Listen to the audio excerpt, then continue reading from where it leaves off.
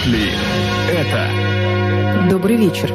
Вы слушаете радио «Серебряный дождь» в Барнауле. В эфире программа «А так ли это?» В студии Мария Макарова и психолог Алексей Васильевич Капранов. Добрый, Добрый вечер, Алексей Добрый Васильевич вечер. Капранов. Что-то у меня какое-то настроение веселое. А, вот сегодня и поговорим. Не похоже на нашу тему. Весело, серьезно. А тема у нас веселая или не веселая? Ну, я не знаю, мы, наверное, во время эфира определимся с этим. Угу. Сегодня мы в понедельник днем впрочем, как и всегда, будем обсуждать и рассуждать о нашей жизни, о нас самих, о том, что важно, о том, что не очень важно. Сегодня об очень важном. Очень важном. О деньгах мы сегодня будем говорить. Практически вечный альянс. Ну, с тех пор, как возникли рыночные отношения, мы и деньги. Так вот, обсудим мы в течение часа несколько аспектов – попробуем, по крайней мере, уложиться в час, потому что чего-то этих аспектов очень много. Но это, конечно же, зависит от вашего участия в нашей программе. Спасает Итак, то, что никто не в чате. Ну, Нас пока никто еще не слушает. Никто не написал. Поэтому можем... можем говорить все, что угодно. Машите руками. Да, Пишите из, маши... из машин проезжая мимо. Итак, первый аспект. Сейчас все, серьезно. Наше отношение к деньгам. Вопрос вам. Как вы относитесь к деньгам? Что значит для вас деньги? И как вы думаете, что такое нормальное, адекватное отношение к деньгам? Аспект второй. Финансы и семья. Вопрос первый. Муж-жена. Кто зарабатывает, тот и главный? Естественно, это не утверждение, это вопрос. И второй вопрос касательно финансов и семьи. Нужно ли платить своим детям? Ну, неважно, за что, и каким образом, но нужно ли платить именно деньгами. А третье. Говорят, что человек зарабатывает на жизнь, фактически значит, что он зарабатывает деньги. Как думаете, почему а, идет такое отождествление жизни и металла бренного? И, наверное, самый наболевший вопрос. Как думаете, не является ли наша зарплата синонимом нашей ценности? Вот такие серьезные вопросы мы сегодня попробуем обсудить в течение часа. Вы можете ответить на все вопросы сразу. Можете выбрать для себя один наиболее наболевший. А, денег мало, вопросов много. Телефон прямого эфира 65 8105. Это городской номер 08 125 бесплатный Билайн. Вы также можете нам писать по ICQ номер ICQ 440 124 022. Стучите, пишите. И онлайн-трансляция у нас работает, да, вот уже Семен пишет в чате, ну ничего, так 14 человек онлайн, но пока, нет, уже 18, но пока О. никто, Семен, ничего не написал относительно денег. altapress.ru слэш live слэш решетка Silver Rain, либо э, кликайте просто на первую картинку с изображением красного микрофона, и вы попадете как раз э, в студию Серебряного дождя в Барнауле. И там справа в чате можете писать все свои мысли Сегодня касательно денег. Итак, давайте для начала выясним, что такое нормальное отношение к деньгам. Вообще, в принципе. Что такое деньги? Что значит деньги для нас? Вот, а, как мне кажется, у нас же существуют а, богатые жмоты, например, угу. скряги, и бедные, наоборот, транжиры. Щедрые такие. Да, щедрые. Безумно. То есть получается, что отношение к деньгам зависит не от доходов, а прежде э, всего от характера и от собственной личности, от ее особенностей. Так или нет? Я пока еще не могу так однозначно сказать. Просто вот э, когда-то я был э, щедрым, очень щедрым. А и, сейчас скряга? Э, не совсем. Но учусь, учусь, тренируюсь, тренируюсь качественно. Вот, а раньше мне как-то один из моих друзей, э, Валерий, сказал ну, великолепнейшую вещь. Он говорит, ты знаешь, почему у тебя денег нет? Я говорю, почему? Потому что ты их хочешь тратить не на себя. Я говорю, и в чем проблема? Он говорит, ты хочешь вот э, стать добреньким. Если бы... Что значит тратить не на себя? Я вот этого не понимаю. Вот, ну, друг... В смысле, на жену и на детей? Так это то же Нет, самое. тогда у меня еще не было семьи. Тогда еще у меня а, не а было вы семьи. раздавали всем людям на улице? А я как-то прям, ну, щедрый был. Ужасно. Ну, дурак. Я не одобряю такого поведения. Ну, я Значит, вы сейчас... не уважали деньги, которые вы зарабатывали. Вот, вот, вот, вот. Он сказал, ты хочешь за счет денег, там, ты помогаешь там всем. Я говорю, ну, это же хорошо помогать, нас же так учили. Он говорит, нет, если бы Бог хотел им помочь, он бы и дал им денег. А ты хочешь быть круче Бога, и давайте... Да, мне, мне понравилось. Еще один взгляд на, на, на это дело. Угу. Так что с деньгами, я не знаю, на деньги однозначно смотреть э, пока трудно. Я не знаю, почему вот сегодня действительно то ли мне передалось, то ли еще тоже. Э, действительно такое веселое отношение к деньгам. Я сегодня только вспоминал этот чудный анекдот, как одна женщина сказала, раньше я любила лето.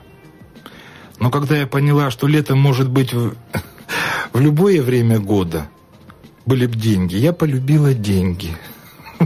Прекрасная фраза. Мне понравилось. Про любовь к деньгам это прелести. Ну вот сообщение от Сергея. Он пишет, я считаю, что деньги это э, мера труда, но не Ньютон на метр, а, как нас учили в школе, а в рублях-долларах. Угу. Зависит от типа работы. Ну, может быть. Может быть, у вас есть свои какие-то мнения? Как вы думаете, что такое нормальное отношение к деньгам? Как вообще формируется это нормальное отношение к деньгам? Все-таки все начинается с детства, поэтому э, нужно обязательно будет обсудить вопрос воспитания. Алло. Обязательно. Алло. Добрый день. О, Дмитрий, здравствуйте. Еще раз. уважаемые. Так вот, значит, э, есть вообще такой парадокс. Вот он в нашей стране пока никак не развит, а вот, допустим, э, в странах Европы, Германия, Франция, та же Бельгия, вот Бенилюкс этот весь, угу. э, в том числе и в Польше, возникает вообще такая интересная штука. Встречаешь человека, ты никак не можешь определить, кто перед тобой есть.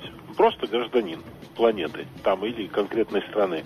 Скромно одет, значит, э, если женщина, часто даже без косметики или там чуть-чуть совсем.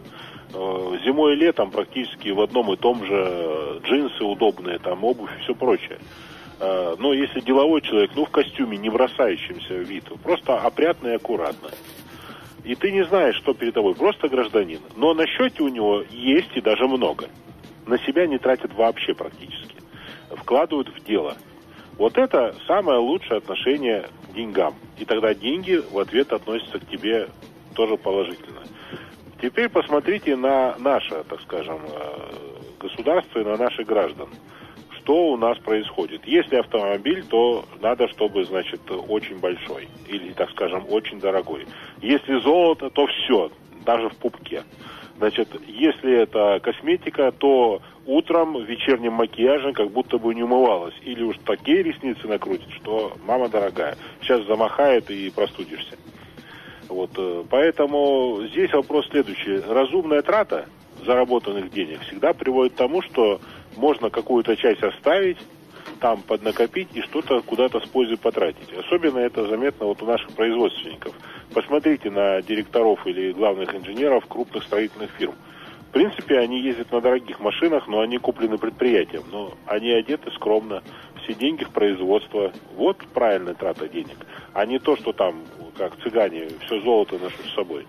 Угу. Вот это смысл. Это один момент. Второй момент заключается в том, что нельзя ценить, так скажем, э, деньги и человека по труду, который, по труду, за который он деньги получает оценка человека должна происходить по мозгам по его, а не по деньгам, которые у него в кошельке. А если эти мозги не ценятся? Ну, значит, тогда надо искать, где не ценятся мозги. Понимаете, вот я встречался, так скажем, в Красноярске с иностранцами, значит, э, французы, которые приезжали туда э, на всякие, так скажем, там, обучающие программы, учить наших сибиряков жизни. И вот они, значит, э, имеют очень большой кругозор, они, там у них эти мозги не ценятся, там переизбыток мозгов во Франции. Они приехали поделиться сюда этими мозгами. В принципе, вот они увидели, что тут ценятся. И они каждый год там или раз в год, два года, два раза в год приезжают и делятся своими знаниями. В принципе, это не на уровне того, что они тут семинары платные проходят. Это лекции для студентов, э, повышающих свою квалификацию в вузах. Э, это, значит, идет э, централизованная оплата в этот самый вуз за предоставленные лекционные часы. Вот нормальное отношение угу. к человеку. И с другой стороны, внешне мы должны э, относиться к человеку одинаково. Покуда он не начнет говорить первое слово. И вот какое это слово будет сказано и какой интонацией, вот тут уже, соответственно, можно относиться к человеку. Дмитрий, мне интересно ваше мнение, знаете, насчет семьи. Детям надо платить? Детям надо давать деньги на карманные расходы до 14 лет.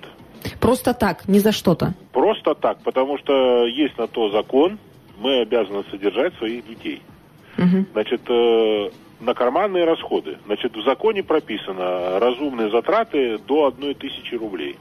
Значит, э, в В месяц, день в месяц, Неплохо. в месяц это карманные расходы ребенка. То, что он может потратить себе, это позволяет контролировать его расходы, чтобы не пускал туда, куда не надо. Если он появи- появились деньги больше, чем этот лимит, условный, скажем, да, который прописан в законе, надо призадуматься, дорогой, а не убил ли ты кого или не ограбил кого, или ты чем заработал? Если он скажет, что он разгружал вагоны, там с арбузами, надо только это поприветствовать и пожелать успеха в производстве. Значит, но после 14 лет полезно этому ребенку, он, он уже имеет паспорт, он гражданин полноценный, сказать, вот тебе тысяча рублей там или две, остальные заработаешь сам и помочь трудоустроиться. По крайней мере, мои родители сделали вот так. Я после 14 лет ходил, работал на шинном заводе. И, в принципе, считаю, что это правильно. Понятно. Спасибо А большое. сколько- подождите, еще одно мнение. Значит, а, то есть еще один момент, важный, так скажем, в этом вопросе. Мы слушаем. А когда родитель тратит на ребенка деньги, обеспечивая его, значит, э, уже при достижении пенсионного возраста можно на это свое чадо вполне по закону, а не по морали, а может быть и по морали, и по закону, С процентами на выбить. на содержание своего родителя престарелого, потому что он же тебя содержал, когда ты был маленький. То, что называется алименты. Да, это, кстати говоря, это очень принято Буду иметь же в виду. в Европе. Это очень принято. Значит, когда родители содержат своих престарелых родителей, будь то дома, будь то в социальных учреждениях, будь то где, но это факт. И вот этим надо уметь пользоваться. Значит, если э, ты этим не умеешь пользоваться, либо ты чересчур добренький, либо ты, э, так скажем, потом не надеешься, что твое чадо тебе, так скажем, отплатит. Отсюда мы видим моменты, которые связаны с тем, что вот показывают по некоторым телеканалам и по радио, что там избили, бьет свою мать там или отца, либо вообще забыл, как они выглядят. Ну, Вот понятно. вещи. Дмитрий, спасибо большое. Надо от- остальным-то тоже дать высказаться. Да, у нас э, в чат оживился, что очень сильно радует. ltpress.ru slash live slash решетка Rain. И Евгений Москва пишет, а что такое нормальное отношение? Евгений, мне кажется, я имею в виду нормальное отношение в смысле здоровое отношение. Вот вспомните хотя бы э, любые... Здоровые такие. Да, действительно. То есть э, есть же люди, у которых вечно какие-то долги, независимо от их зарплаты, вечно какие-то траты, или кто-то там в казино проигрывается. Э, э, Я, кстати, даже читала, есть такое понятие, как денежная анорексия, что ли, даже какая-то болезнь вообще. То есть это да, это нездоровое и ненормальное отношение к деньгам. А как деньгам относиться адекватно, как к деньгам относиться нормально? Вот именно этот вопрос нас и интересует. Но мы сейчас прервемся на рекламную паузу и затем вернемся в студию и продолжим нашу беседу. А так ли это?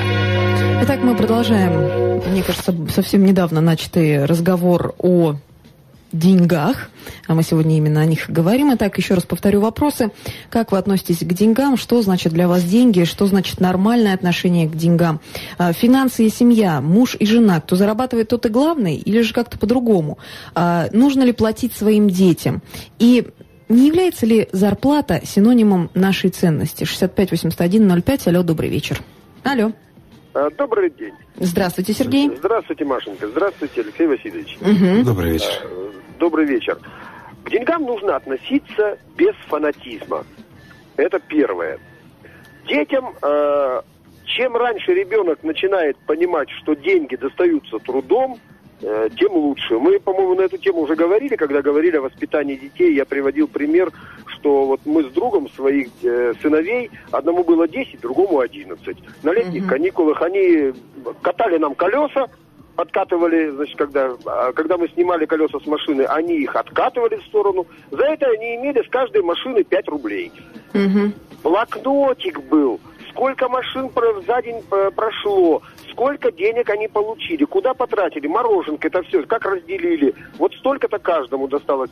Учет с 10 лет.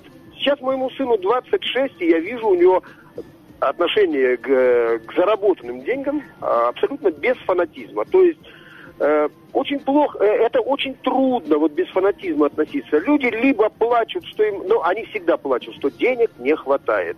Ребята, если денег не хватает, значит у вас потребности слишком завышенные по сравнению с тем, сколько вы стоите. Вот, стоп, стоп, стоп, стоп. Мне в этот момент говорят, не надо по бомжам равняться. Э, нет, здесь вопрос такой. Я вот у меня супруга педагог.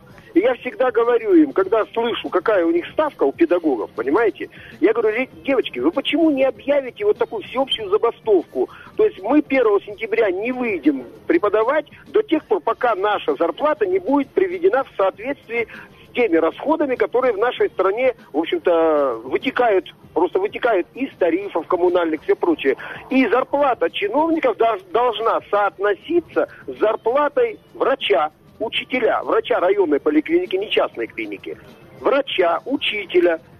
Понимаете, вот, вот зарплата чиновника должна быть. Э, Социологи давно уже это провели исследование и говорят, что в 8 раз, вот это максимально, у Святослава Федорова, покойного, Э, микрохирургия глаза, вот у Да-да-да. него было так, и у него был самый высокий оклад, это 8 окладов санитарки. И он, а остальные все, вот медсестры, врачи, располагались внутри, от 1 до 8. И он говорит, если я хочу кому-то повысить зарплату, я могу перевести его только, только в более высокую категорию, а если я хочу себе повысить, мне нужно повысить зарплату санитарки. Ее оклад повысить, и у меня автоматически тоже возрастет. Вот это правильно. Тогда кто же захочет быть чиновником? А, в том-то и дело. Чи- менять надо чиновничество, менять. Ну, это уже тема другой программы. Это Сергей. опять политика, а мы ее не Да. касаемся. Да, спасибо Да. большое за ваше Э, мнение. Или да, еще что-то? Еще, еще, еще, еще вопрос. Вы о семье говорили. Да, да, Кто да, в да. семье главный? А, ну, я не знаю, каждая семья решает по-своему. Например, семейный бюджет ведет супруга. Мгм. Все, супруга у нас главная в семье. Она же сама знает, сколько чего надо купить. Я же не знаю. Понятно. Ясно, Сергей. Же- женщинам дорога в семье. О, хорошо сказал. Женщинам флаг в руки. Спасибо большое за звонок. Ой, какое интересное мнение у нас появилось. А, Олег пишет, да-да-да, у нас зарплаты раздуты. Нас- Олег, вы откуда пишете? Я понять не могу. Вам, безосновательно. А, раздуты безосновательно, а следовательно, раздуты безосновательно цены на товары. Ну, со вторым, может быть, я соглашусь. Далее, переходим в наш чат. Евгений Москва пишет, нормально или нет, как э, мы боимся быть ненормальными. Как мы боимся быть ненормальными? Я такой же, как и все. Ничем не отличаюсь. А, Далее, Дон Барон пишет, деньги – обменный материал на материал, а также является стимулом для воплощения своих капризов, а также универсальное средство от лени. Интересно. НАТО. Отношения. Надо управлять деньгами и не доводить до того, чтобы деньги управляли тобой. Семен Барниаполь пишет. Богатый человек не тот, кто больше зарабатывает, а тот, у кого больше остается. А, Далее. Евгений пишет. э, Евгений Москва. Вы имеете в виду зависимую, в скобках, болезненную зависимость от денег? Евгений, вы уже Хватит вопросы задавать, ответьте. Выскажите, в конце концов, свое мнение относительно денег. Вопросы и я умею задавать. Далее, Семен Барниаполь пишет. Вот согласен с Сергеем, мне тоже кажется, что банально давать детям а, денег не стоит. Можно помыть посуду за деньги. А, ну или колеса катать. Какие колеса? Да и мало ли а, дома можно полезных занятий придумать. Ох, не согласна я с вами, Семен. Мгм. Это потом ребенок будет все делать, наверное, исключительно за деньги. Во-во-во-во-во. Иди-ка сходи, а ты мне сколько за это дашь? Мгм. а я тебе нисколько не дам. Все-таки у детей это должна быть э, не как какой-то условный рефлекс вырабатываться, как у собаки Павлова, а больше походить не на зарплату, а на некую такую награду. Можно тогда здесь корректировочку внесу? Пока никто не звонит, успею сейчас быстренько. Так вот, есть такое понятие семейный бюджет. Вот все, что необходимо, семья это все-таки совместное предприятие для э, выживания. И мне как-то пришлось консультировать семью. Э, там они пришли и сначала испугались, что сын у них э, наркоман, потому что это было еще в годы первой перестройки, когда выдавали зарплату всякими кухонными комбайнами, унитазами, там еще всеми подряд таким бытовой техникой. которая склады затаривала. Вот, и э, они пришли, почему мы говорит, сунулись наверх, а там в этих коробочках уже ничего нет, они пустые. Э, мы испугались, вдруг наш ребенок наркоман, парнишка уже взросленький, учится в колледже или в техникуме, там сейчас не помню, или в училище, ну где-то вот учится на автомеханика. И они пришли всей семьей, папа, мама, сын, пришли, говорят, вот посмотрите, что, поговорите. Поговорили, сын говорит, а они мне не дают на карманные расходы. И мы начали обсуждать тему, э, то, что называется семейный бюджет. Я говорю, мы, мы объединяемся, вносим вот эти общие деньги, потому что, э, ну, в общем, выживать легче, угу. чем по отдельности. И это каждого свой вклад. Я говорю, ну вот э, папа вкладывает, э, он продает свое время, приносит эти деньги, консервированное время, и обеспечивает тем самым семью. Мама говорит, ну вот, а я не работаю. Я говорю, здравствуйте, вы работаете дома хозяйкой. Если бы нанять женщину, которая где-то купит продукты, принесет, сготовит и все это, вышло бы еще дороже. То есть вы вносите чистым временем. Я говорю, а вот ты, я смотрю, взрослый, здоровый, красивый, умный и сильный оболтус. Что вносишь ты в семью, чтобы хотеть взять из нее? Я говорю, я понимаю, если бы ты помог папе, что-то сделал за него, а папа тебе поделился бы деньгами. Или бы ты что-то помог маме э, за это, вот что-то как-то деньгами. Но если он того минимума в семейный бюджет не вкладывает, то почему он из семейного бюджета обязан брать? А особенно, если он, он что, домашнее животное. А сколько ему лет еще раз? Ну, уже 15, по-моему, или 16 был, ну, что-то угу. уже такое вот. То есть, но мне понравилось, что э, он не мог тогда устроиться на работу, но он пришел к отцу а в гараж, и мужики в гараже, так как он учился на автомеханика или на автослесаря, я не помню там на что, и ему говорят, вот, промоешь карбюратор, столько-то твоей. Он быстренько промывал карбюратор, ему платили. И так далее, и так далее. Так вот, там он заработал свои деньги. Может, там звоночек? Добрый вечер. А, Машенька, да. извините, я хочу маленькую реплику. Угу. Немножко меня не поняли люди, и, вернее, вы меня не поняли, те, кто в чате пишут. Помыл посуду, да, и вот э, столько получи. Неправильно, вот как Дима правильно говорил. Угу. То есть вот у тебя на неделю, например, 250 рублей. За это ты должен после себя посуду помыть. Если папе некогда, папа убежал, значит, папе, ну заодно посуду помыть, а у тебя время есть. Комнату содержать в порядке и все прочее, прочее. То есть вот ты в доме должен выносить мусор, сходить за хлебом и так далее. Если ты вот это не выполняешь, мы просто уреза, урезаем тебе твой недельный бюджет. Угу. Вот и все. Понятно. А, а вот каждое действие в доме, сходи за хлебом, а сколько ты мне дашь? Тут сразу надо брать ремень и сказать, вот это я тебе сейчас дам. Что вы, э, про ремень в эфире? Ремень в эфире. Не надо нам ремней в эфире. Спасибо, Сергей. Семен пишет, а мне кажется, если просто давать э, детям деньги, ребенок никогда не научится их зарабатывать. Понимаете, в чем дело? Как мне кажется, у ребенка в любом случае лет до 15-16, а то и, дай бог, 20, в любом случае не сложится адекватного отношения и ценности, понимания ценности денег и то, каким образом они достаются. Потому что своему, например, десятилетнему ребенку э, вы не скажете, если э, вот не будешь там то-то делать или то-то делать, мы, мы э, не сможешь платить нам за ренту в квартире, и мы тебя выгоним. Или ты там вообще не сможем жить никак. В любом случае вы будете ребенка кормить, поить, а, он будет обут, одет и спать в чистой, уютной кроватки. Потому что это ваша обязанность в любом случае. Ну, тоже по мере возможности. Ну, естественно. Потому что Дмитрий Барнаул, у ребенка должен быть свой маленький бюджет, и он должен учиться укладываться в этот, а, бюджет, укладывать в этот бюджет свои желания, капризы и так далее. Евгений Москва, соглашусь с вами, Семен. А, кроме того, хочу добавить, что неплохо бы родителям не просто смотреть, как ребенок учится зарабатывать, а еще а, и научит как зарабатывать. А, далее Олег пишет, деньги платежное средство, но если в старину они были эквивалентом золотого запаса, то современная банковская система обесценила деньги. Поэтому веры деньгам все меньше и меньше. Правы люди, считающие, считающие, что всех денег не заработаешь, а потому их надо ровно столько, чтобы о них не думать. Вот где, где начинается, от какой суммы начинается, чтобы о них не думать? Очень интересно, конечно Мне же. нравится, вспомнилась такая, опять же, хорошая фраза. Единственное, что на Земле разделили по-честному, это деньги. Их не хватает всем. А Далее Олег же продолжает, что семья – это дуэт, решающий общие для этого дуэта задачи, идущий к совместной цели.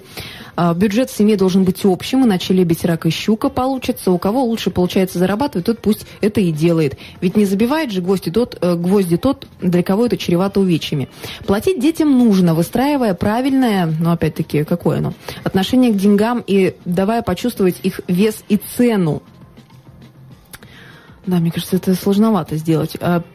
Предпринимательская жилка не испортит. И деньги являются мерилом ценности и положения человека в городе, считает Олег. А в деревнях, где нет работы, нет фиксированных зарплат, люди умудряются э, строиться, есть, одеваться, не имея постоянного доступа к бренному металлу.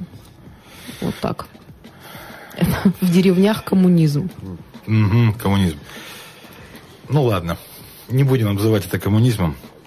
Павел пишет, дети бывают разные, и в пять лет все понимают. Особенно, ну, э, ребенку трудно объяснить, что такое деньги и как они зарабатываются и так далее. Ну, у меня сейчас сыну тоже младшему 10, и приходится объяснять. Другой вопрос, очень тяжело объяснить, что вроде все работают, кругом все работающие, а вот денег на какие-то определенные вещи все равно нет. Нет, ну я говорю, что вот, например, он, э, мы идем в парк, да, и ему охота там и на каруселях покататься, и на батуте попрыгать, и на катамаранах, и все.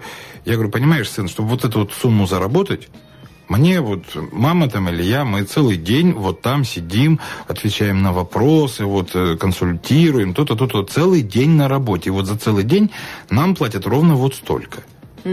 Но вот мы с мамой решили, что ты сегодня, э, так э, у нас сегодня праздник, мы сегодня вот столько потратим, ну, на увеселение. Вот это мы с мамой в кафе, а ты вот вот тебе денежки. Это был очень интересный эксперимент, особенно для меня.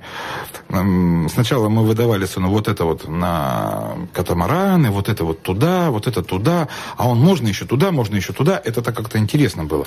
А потом говорю, ты дай ему всю сумму, и пусть он выберет сам, куда ему надо. Считать он уже умеет. И мы ему дали эти деньги. Вот где был у парня тяжелый выбор. Вот это, наверное, это был самый шикарный аспект в воспитании ребенка. И мы прям, э, я же взвизгнул от кайфа. Вот был правильный воспитательный момент. Вот на тебе деньги, иди выбирай. Вот это все, что мы можем на сегодня вот на все аттракционы потратить.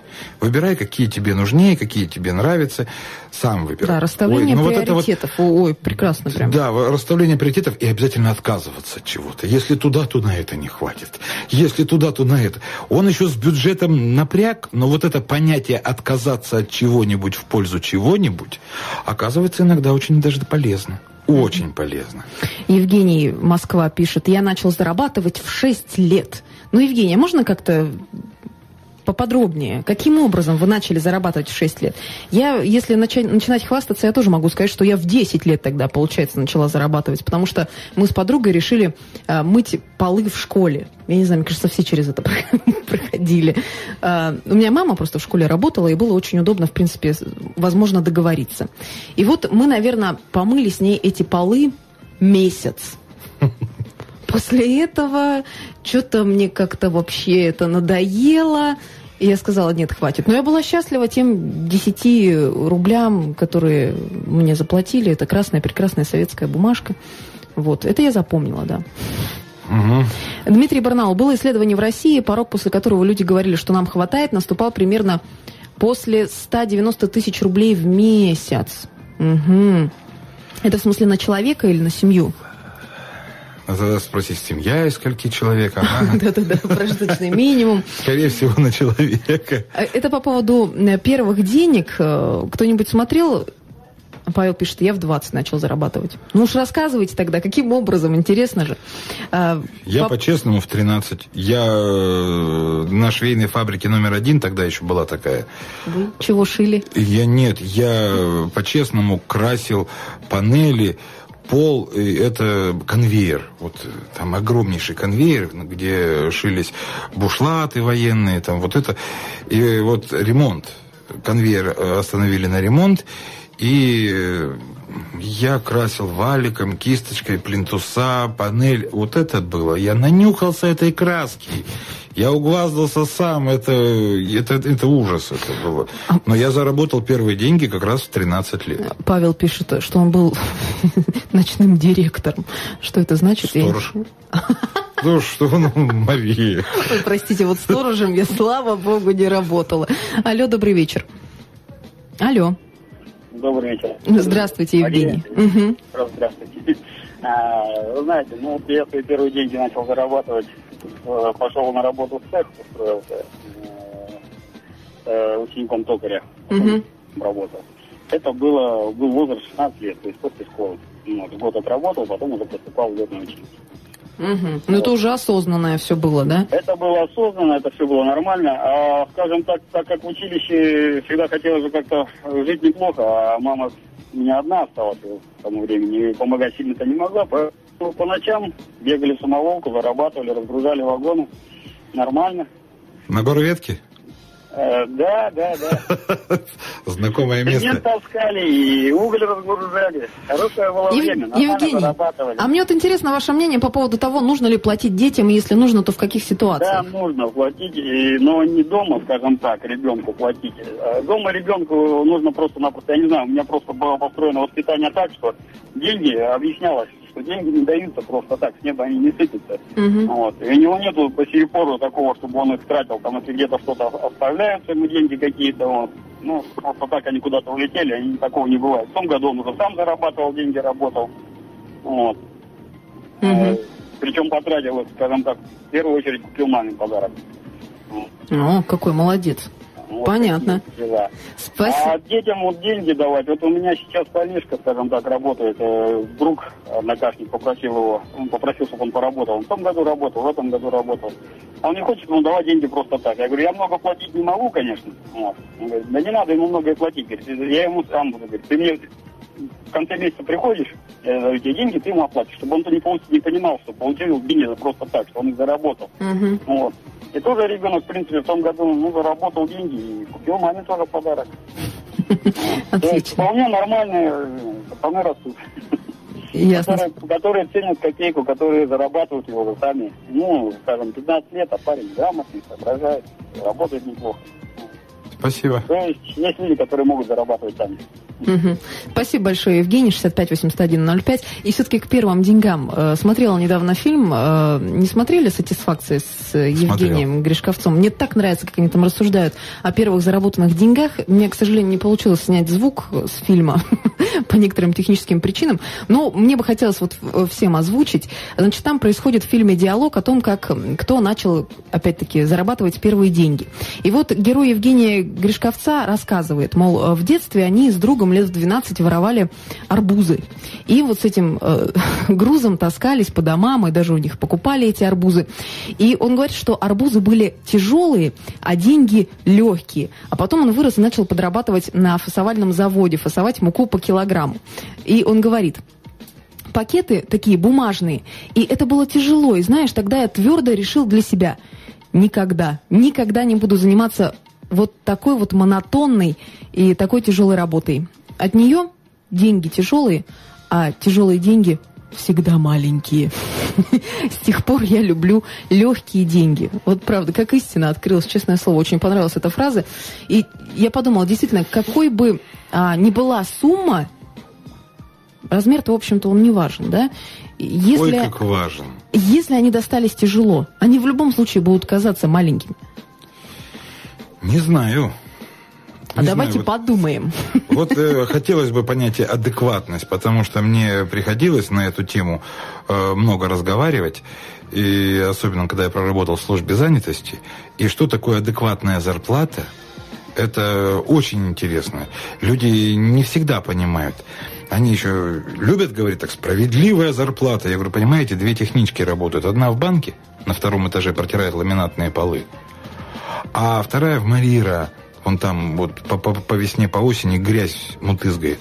Вот та, которая в магазине мутызгает, она получает 3-5 тысяч, а та 15-20. Какая из них, из этих зарплат справедливая?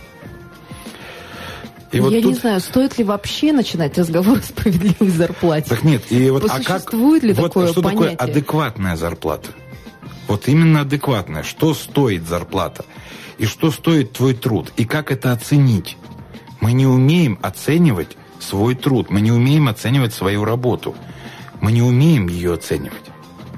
Вот мы сейчас послушаем второй рекламный блок, и затем все-таки вернемся к деньгам. А так ли это? Эх, друзья, я, кажется, не справляюсь э, с, с нашими, С нашим чатом. с нашим чатом. Чего-чего? Ай, ладно, неважно, все. Собралась. Итак, у нас в эфире программа «Атак ли это?» в студии Мария Макарова, психолог Алексей Васильевич Капранов. И мы сегодня рассуждаем о деньгах. Уже, видимо, заканчиваем разговор. Алло, добрый вечер.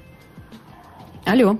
А, Маша, Да, еще Сергей. один вот э, ответ Алексею Васильевичу. Адекватность зарплаты. Я уже приводил в какой-то передаче этот пример. В Алтайском крае работают два тракториста, бульдозериста. Один работает на дорожников, строит дорогу, а другой работает в системе «Газпрома», ведут газовую трубу.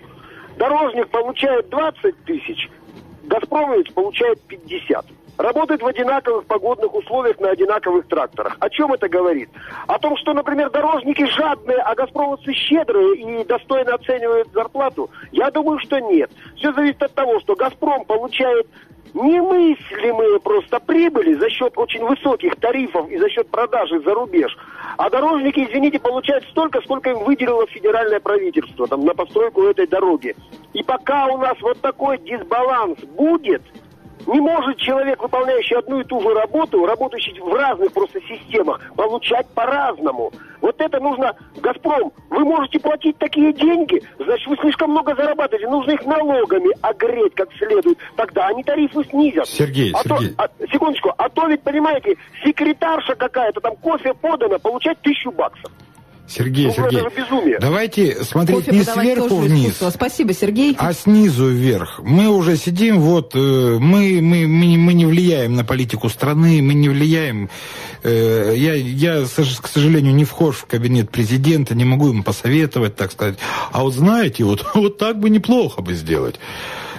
Тут давайте вот, э, кроме сотрясания воздуха с этой стороны, мы ничего не сделаем. Так, хотела бы зачитать сообщение в чате, но у нас есть звонок. Алло. Алло. А еще раз добрый вечер, Мария. Да, Евгений. А вы знаете, вот хочу сразу Алексей, ответить насчет того, что технически в банках много получают. Скажу вам, немного они получают. И труд там тоже грязи хватает вывозить.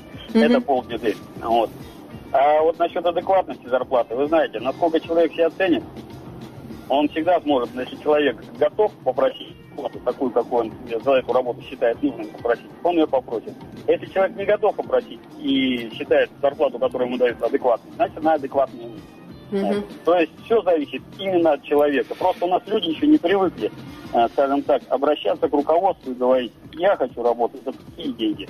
Евгений, вот, э, да простится мне, сейчас я поговорю немножечко. Ну, Э, спасибо большое, Хорошо, Евгений. да. Мгм. Слушайте, э, это как-то приехал очень видный психолог из Москвы, и он тут проводил э, мастер-класс э, для По наших привлечению денег. для наших психологов. Ага. И, он, и там был, было такое задание. э, расскажите, сколько, то есть обоснуйте, сколько стоит ваш рабочий час. То есть вот ваш рабочий час сколько стоит? Готовьтесь к завтрашнему дню, все. Они, ну, наши психологи приходят, и он говорит, первый отсев. Если ваш час стоит меньше 50 баксов, я вас не слушаю. А 50 баксов это сколько рублей? Вот, вот поэтому все вот приблизительно с такими же глазами, и с такими же вопросами, потому что мы не привыкли изъясняться в баксах в Барнауле. И к тому же, ну, 50 на 30 умножаешь, и нормально. Ну, у меня плохо с 1500. умножением в уме. О, 1500. вот, если он все, и мы такие, а это еще было давно, тогда еще у меня консультация стоила гораздо дешевле. Вот, и они все сидят, молчат, он говорит, ну давайте, кто на второй-то отсев? Все сидят, смотрят на него внимательными, добрыми глазками. Он говорит, у нас меньше 50 баксов, ты уже все, уже не психолог. Благо, мне понравились наши коллеги из Сибири. Я преклоняюсь перед нашими сибирскими психологами. Они говорят, да вы хоть 300 поставьте. Кто купит? Поставить-то можно. И даже задрать цену. Я стою вот столько. Да, пожалуйста. Съесть-то он съесть. Только кто ему даст? Как печально. Олег пишет, м, оценить работу можно примерно так. Сколько вы готовы заплатить другому человеку за такую работу, Во, которую выполняете а, сами. Так, теперь все-таки к чату зачитаю все, все, что можно. Семен пишет, вот моя будущая жена училась в другом городе, времени м, было валом, и она хотела пойти на работу. Так вот ей мать сказала, я тебе что, мало денег даю? Успеешь еще наработаться. Ну, у кого после этого руки не опустятся? Это бедненькая ваша будущая жена. Евгений, Москва. А В российском инфантильном социуме нужно учить детей и зарабатывать, и придумывать, и прочее. А, Далее. Семен пишет же, Дмитрий, э, э, Барнаул, Ерунда, у каждого свой порог. Это по поводу 190 тысяч рублей. Я помню, когда Родине служила, мне Родина в последние годы давала столько, сколько я не был способен потратить. Занимал всем налево и направо. Ну, тут э, далее Семену предлагают что надо было квартиры покупать, не занимать. И вот интересное сообщение от И. Кнехт. По-настоящему зарабатывать начал после м, того, как, а, как поменял свое отношение к деньгам. В 2007 году не ради рекламы, в скобочках написано. Когда прослушал курс 33 Капранова АВ, Опа. сейчас сижу, слушаю ваше радио в кресле генерального директора Алексея Васильевича. Опа. Спасибо Алексею Васильевичу. Он даже, он даже не подозревает об этом. Хотя, конечно, он понимает, что он многим людям помог поменять свое финансовое состояние. У меня в связи с этим вопрос. Алексей Васильевич, почему вы не поменяли до сих пор мое финансовое состояние? Почему Я с вами, поменял? извините, уже сижу с сентября 2009 года. Так вы же на 33 не ходили. Ах, вот Ой, спасибо огромное. Вот самое приятное, вот, вот, вот. На Я что- поменял. на что Семен пишет. А, и Кнехт. Перечисляйте благодарность через Яндекс Деньги. Тоже хорошо. И еще мнение от Семена. Адекватная зарплата это та, за которую вы работаете. Ну, а, как- а- а- да. а если ты еще не работаешь? Вот я почему говорю, что, во-первых, нас приучили продавать оптом, то есть не почасовую. Мы за- месяц мы оптом продаем, и сейчас э, появилось такое хорошее время, ненормированный рабочий день. Это сколько? И он не нормирован в какую? В плюс или в минус? В минус я не видел. Чаще всего в плюс. То есть от 12 и больше, да? Причем э, от светладцати до темнадцати, а если ты уходишь по светлу, то это вообще неприлично. Он там нам еще звонит. Алло. Здравствуйте. Алло. Алло, Да, еще раз, это Евгений. да, Евгений. Вы знаете, вот э, вы начали говорить, за сколько человек готов работать. Вы знаете, вот меня всегда, можно сказать, так вырубает, может, нехорошее слово, а, когда люди говорят, вот э, приходишь, они говорят, э, мне мало платят, я не буду работать. Вот сейчас Во-во-во-во-во. позиция бывает, чё- Я тогда говорю, если вы считаете, что вам мало платят, и вы не хотите работать, либо меняйте работу, Либо не если приходите. вы работаете за эти деньги, то будьте любезны выполнять свои обязанности. Да я согласен с вами, целиком Потому и что полностью. по-другому не должно быть отношения к деньгам. Если ты пришел на эту работу, и тебе столько заплатили, и ты работаешь, значит, будь любезен выполнять свои служебные обязанности. Если ты не хочешь, поменяй работу и зарабатывай больше, если ты ценишь, ценишь себя выше. Другого Мгм. не дано. Понятно. Спасибо большое, Евгений. Э, Да. Я вот я смотрю, мы вряд ли уложимся сегодня. Может быть, мы и, сейчас еще забросаем и на следующей неделе продолжим тему денег. Мне тоже так кажется. Как-то мы так галопом по Европам, Ну, да. все подряд, и Ну, так я до скажу конца и непонятно. Я Да, можно потому что- дочитаю все-таки сообщение, потому что Евгений Москва пишет, а почему мы говорим только о деньгах? Евгений тоже, наверное, по поводу следующего эфира. А заработать первое место? А заработать хорошие оценки? Это тоже работа и оценка работы. Ну, это уже другие какие-то мотивации, Не, ну, мы другие не- мы не- поощрения. обо всяких можно э, поощрениях поговорить, и о победах и достижениях. Но сегодня мы выбрали узкий аспект – деньги. Вот когда меня спрашивают, мое отношение к деньгам, я сейчас успею хоть высказаться-то, да. Вот Дмитрий Барнаул Давайте. пишет. Последнее Давай. сообщение. Дмитрий Барнаул. Если человек готов работать за 6 тысяч рублей, значит, он этого заслуживает. Семен ему отмечает. Дмитрий, в том-то и дело. Зарплата – это цена, за которую мы продаем свой труд. Вот, в общем-то, вся тяжелая правда жизни. Вот а я как раз, Васильевич. да, чтобы на неделю еще задуматься, э, у нас же передача, а так ли это? Я мало ли что сейчас ляпну.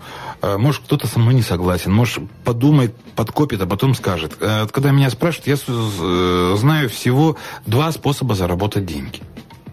Это либо дорого продать свое время, либо выгодно перепродать чужое. Вот и все. Но это я так. Я говорю, если мне кто-то расскажет третий способ, все остальное это взять у Бога взаймы. Слушайте, точно, давайте, а то у нас так все печально. Может, мы подумаем, Да. как заработать? Вот я как раз про это. Дорого продать свое время, либо выгодно продать, перепродать Нет, чужое. ну, конечно, можно продать дорого свое время, Потому но что- кто купит? Вот у нас еще одну хорошую фразу я хочу так э, забросить туда в эфир, и чтобы люди задумались и заслушались. А, Это как-то иностранцы сказали, знаете, почему у вас э, такое непонятное отношение к деньгам? Потому что, говорят, вы все хотите быть богатыми, но ненавидите богатых. И получается, вы ненавидите собственную мечту. Вот пока мы не выровняем нормально это отношение, мы и сами богатыми стать не можем, и богатых пытаемся уничтожить. И у нас вот эта прослоечка, мы либо бедные, либо ненавидимые, и так далее. И иногда некоторые просто боятся стать богатыми, потому что боятся вот в себе вот эту ненависть, свое чувство вины и получить ненависть со стороны остальных. Это тоже очень опасная тема, поэтому я желаю, чтобы люди о ней, ну, недельку, если вдруг кому-то стало интересно, задумались. А через недельку на том же месте, в тот же час, Поговорим о вечном, о деньгах. Спасибо всем огромное за сегодняшнее участие в нашей программе. Встретимся в следующий понедельник. Счастливо и удачи, и много-много денег всем. Пока.